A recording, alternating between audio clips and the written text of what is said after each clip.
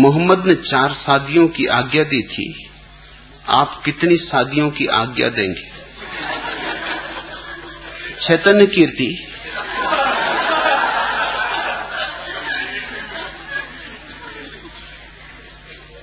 चैतन्य कीर्ति बार बार शादी के संबंध में प्रश्न पूछ रहे कारण भी तुम्हें बता दू। दो जुड़वा बहनों के प्रेम में पड़ गए। ख्याल रखना। सदगुरु कबीर क्या कह गए? दो पाटन के बीच में साबित बचा न कोई। और पाट भी जुड़वा। ऐसे पिसोगे कि खोज खबर भी न मिलेगी।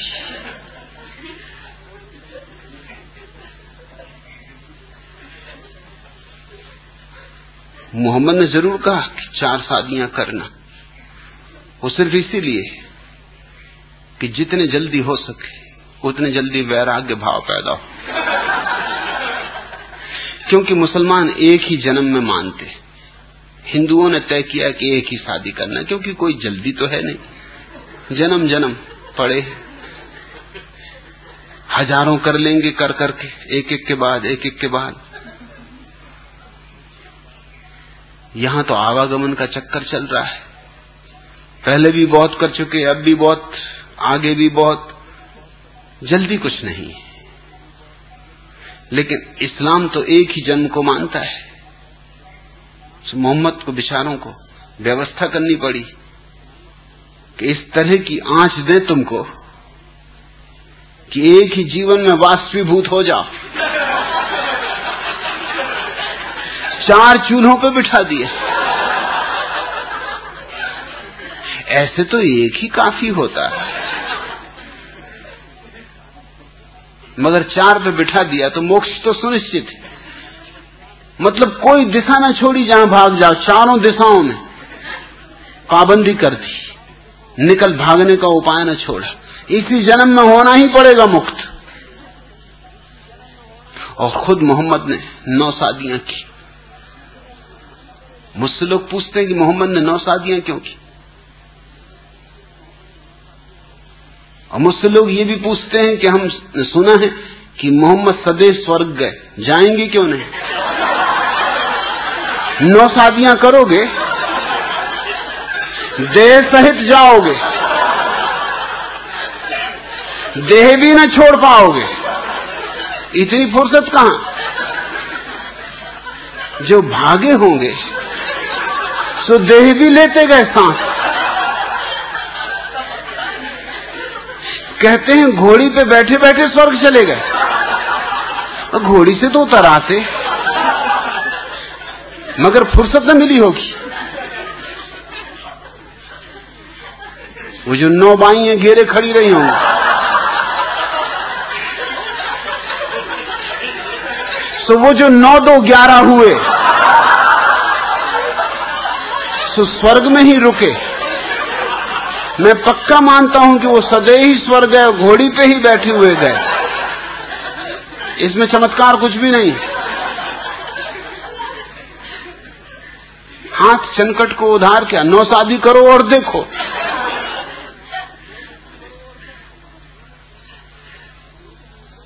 नौ शादी करनी पड़ी बिचारे मोहम्मद को, क्योंकि जब शिष्यों को चार शादी करने को कहा तो दृष्टांत तो कम से कम आगे का रखना चाहिए।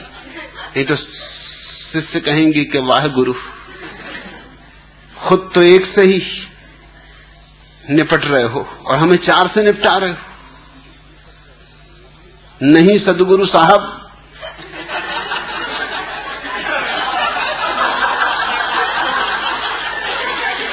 कोई चमत्कार करो, कुछ हमसे आगे बढ़ के दिखाओ। सो उन्होंने नौ शादियाँ की। चेतन कीर्ति, तुम इस झंझट में न पड़ो तो अच्छा एक ही काफ़ी, बुद्धि हो तो एक काफ़ी, और बुद्धि ना हो तो चार भी काफ़ी नहीं। बुद्धुओं को तो कोई चीज़ काफ़ी नहीं होती। कितने ही कुटे पिटे। उनकी आशा मरती नहीं बुद्धुओं की आशा नहीं मरती।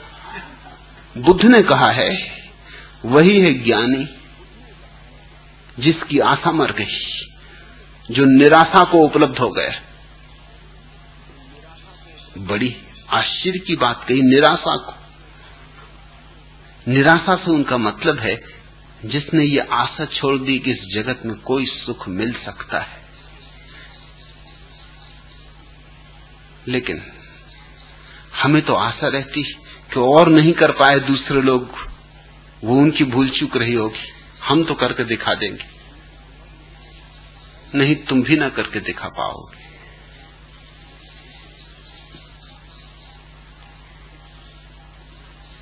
दुख के वक्त मित्र ही मित्र के काम आता है।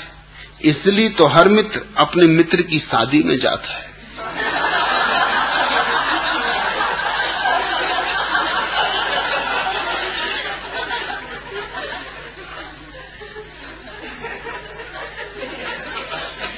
जज साहब ने अपने अपराधी से कहा, हमें यह भी बताया गया है कि वर्षों से तुमने अपनी बीबी को डरा धमका कर रखा है और एक प्रकार उसे अपना गुलाम बना लिया है।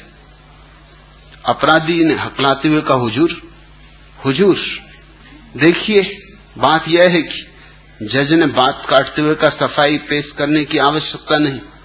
तुम केवल इतना बता दो कि यह चमत्कार किस प्रकार कर लेते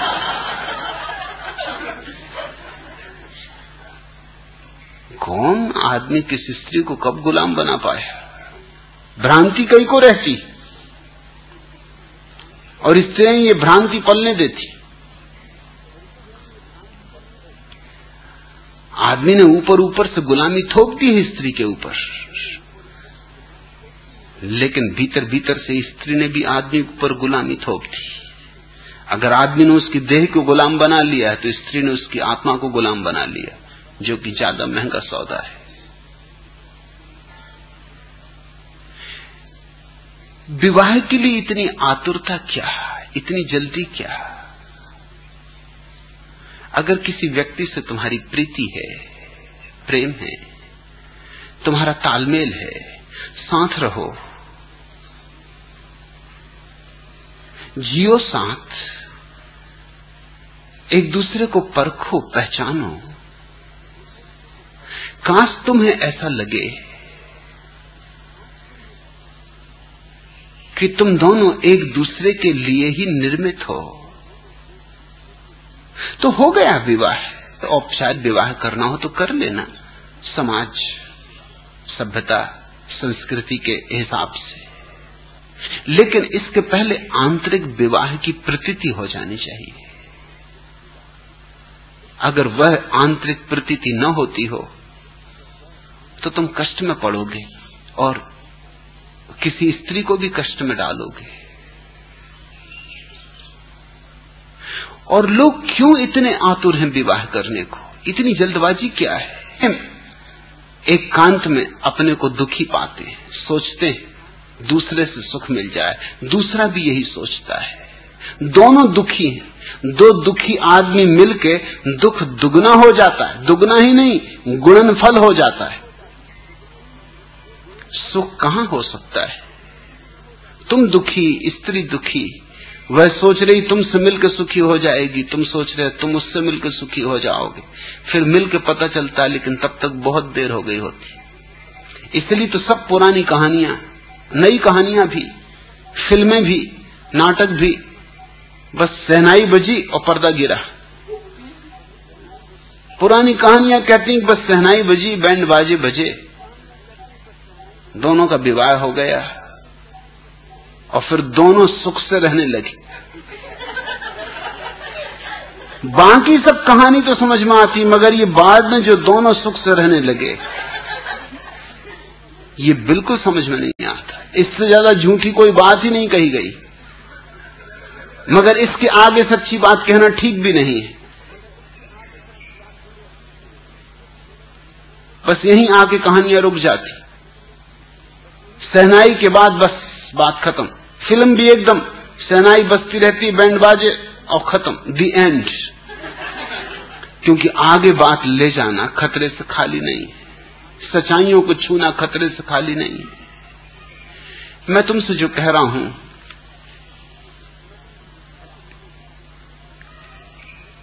वह जीवन के सीधे सीधे सत्य हैं।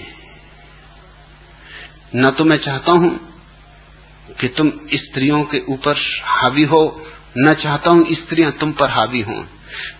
प्रेम अगर स्वतंत्रता दे सके तो ही प्रेम है। प्रेम अगर परतंत्रता लाए तो वह प्रेम नहीं।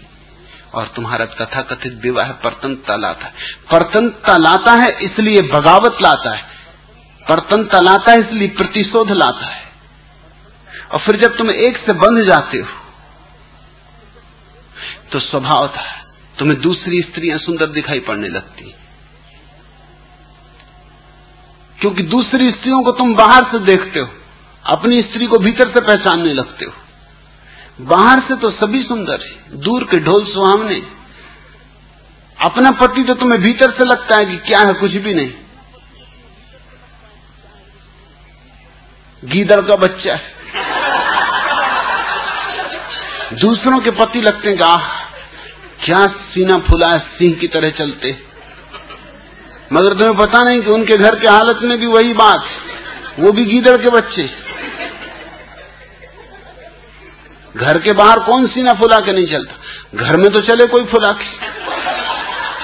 वहाँ बिल्कुल लोग पूछ दबा के चलते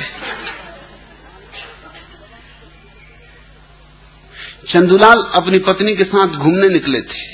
रास्ते में एक छोटा तालाब पड़ता था। जिसमें बदक तैर रहे थे। एकाएक गुलाबों ने चंदुलाल को हुद्दा मारकर आँखें मटकाते हुए कहा, जरा उधर तो देखिए, वे बदक और बतकी कैसे एक दूसरे के साथ प्रेम क्रिया कर रहे। चंदुलाल ने चश्मे को संभाला, गौर से देखा और पत्नी को झिड़कते हुए बोले, इतनी उम्र हो गई, फिर भी तेरा ध्यान अभी भी ऐसी चीज़ों की ओर जाता है। दस बच्चों की माँ है, कुछ तो शर्म खाया कर। पत्नी कुछ न बोली। जब घूम कर दोनों फिर उसी तालाब के पास से गुजरे तो गुलाबों ने वही दृश्य देखा। उससे रहा नहीं गया बोली, आह, जरा देखिए, दोनों अभी तक कैसे एक दूसरे में मशगूल चंदूलाल ने फिर अपना चश्मा चढ़ा कर देखा और बोले, अरे भाग्यवान, वह तुम्हें भी देख रहा हूँ, लेकिन तूने कुछ और देखा? बत की दूसरी।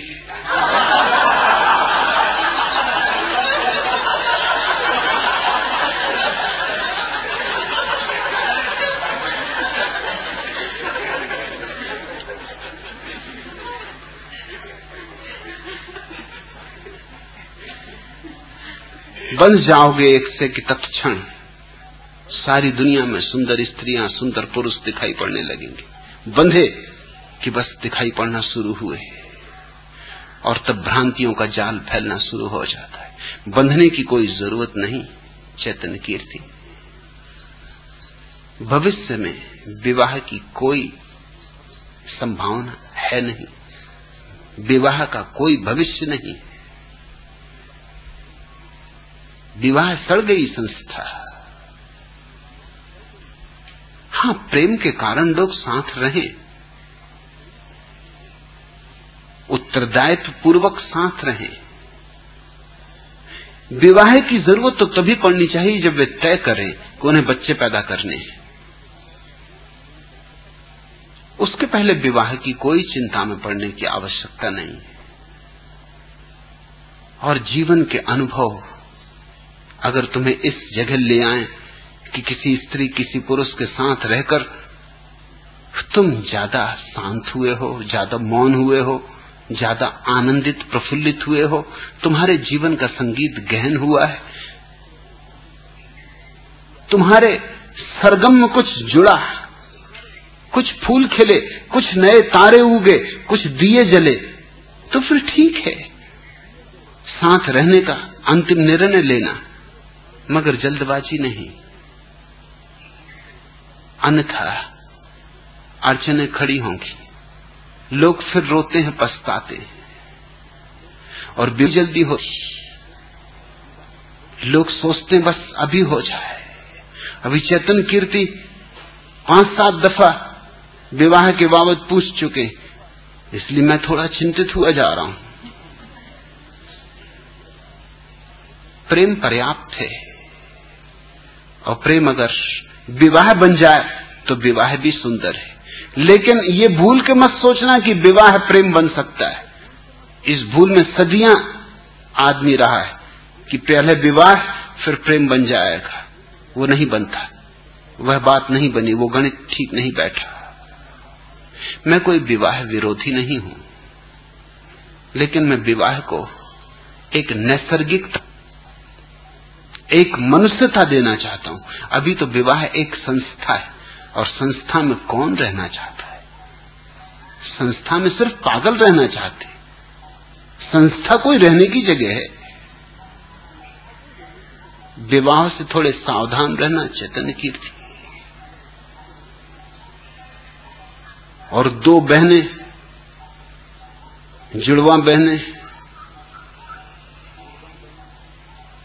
तुम दोनों के बीच मुश्किल में न पड़ जाना, घर के न घाट के। धोबी के गधे हो जाओगे। इधर भी पिटोगे, उधर भी पिटोगे। और मोहम्मद वगैरह लीले न खोजो मोहम्मद की मोहम्मद समझे। अब जो उन पे बीती, वो तुम्हें क्या पता? उसका तो कहीं उल्लेख भी नहीं किया जाता। ज़िंदगी में असली बातें तो छोड़ ही दी जाती। ज़िंदगी बड़ी अजीब है। यहाँ नकली और झूठी बातें तो खूब लिखी जाती, असली बातें छोड़ दी जाती। मोहम्मद पर नौ पत्नियों के साथ क्या गुजरी? ये तो कोई नहीं कहता। ये तो कहीं लिखा ही हुआ नहीं है। कृष्ण के साथ सोलह हज़ार पत्नियों के साथ क्या गुजरा? जरा सोचो तो। कुंभ का मेला लगा रहा। ऐसी धक्कम धुक्की हुई होगी।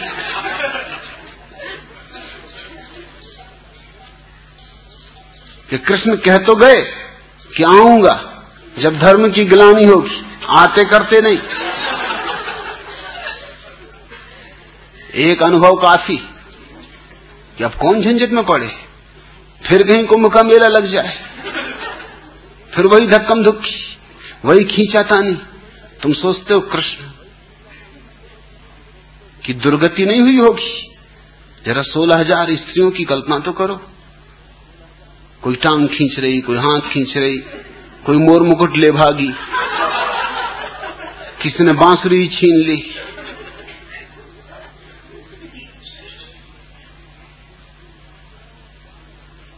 सिर्फ़ एक के आदि वो होशियार थे। शायद इनको आपस में लड़ाते रहे हो तो बात अलग। और कोई बचाव का उपाय नहीं दिखता। इनकी कुस्तम कुश्ती आपस में करवा दी कि तुम निपटो सुरझो और मथुरा से भागे क्यों? और कहा बसे? द्वारका जिसके आगे भागने की और कोई जगह ही नहीं थी। ऐसे भागे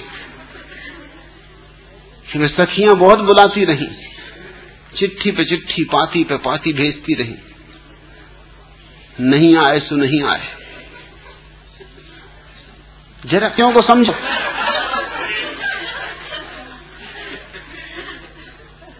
इन झंझटों में न पड़ना, थोड़े सावधानी से चलना। अभी समय सावधानी से चलने का है। और जल्दी क्या है?